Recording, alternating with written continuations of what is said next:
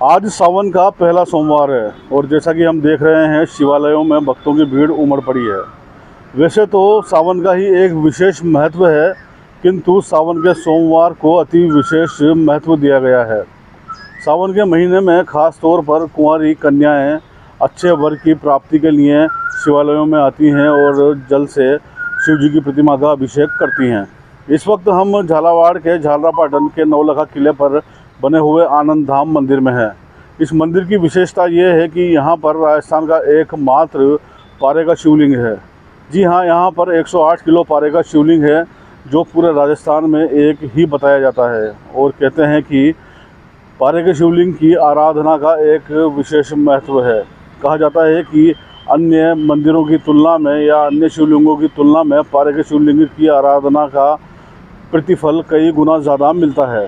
यहाँ पर सावन के महीने में दूर दराज से झालावाड़ नहीं यहाँ पर राजस्थान के मालवा से लोग आते हैं। कहते हैं कि शिव भगवान की पारा शिवलिंग की सो शिव की पूजा करो और एक पारस शिवलिंग की पूजा करो मनोकामना करो यहाँ पर आकर तो पूरी होती है मनोकामना। इसलिए यहाँ पर सावन के महीने में हज़ारों श्रद्धालु रोज आते हैं और रोज पूजा करते हैं मनोकामना करते हैं शिव अभिषेक भी करते हैं। मेरे दादाजी यहाँ पर हुक्म सिंह जी उन्नीस में यहाँ पर किलेदार रहे हैं। यहाँ पर पशुपति नाथ का भी राजस्थान में एक ही मंदिर है और पारस शिवलिंग का, जो यहाँ पर आनंद धाम पर मंदिर है, ये भी पूरे राजस्थान में एक ही है। ये 108 किलो वज़न का है। यहाँ पर दिन रात श्रद्धालु सावन के महीने में बहुत आते हैं। यही मेरी, यहाँ झालों की घंटी के नाम से था तो इसलिए झालरा पाटन इसका नाम रखा। इस मंदिर की इसी विशेषता को देखते हुए यहाँ पर राजस्थान ही नहीं, बल्कि मध्य प्रदेश से भी श्रद्धालु बड़ी तादाद में पहुँचते हैं।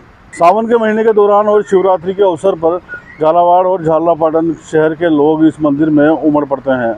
पूर्व मुख्यमंत्री वसुंधरा राजे सिंधिया भी इस मंदिर में हमेशा दर्शन करने आती रहती हैं। झालावाड़ के आनंद धाम से भारत एक्सप्रेस न्यूज़ के लिए कैमरामैन अजय शर्मा के साथ रियाज खान।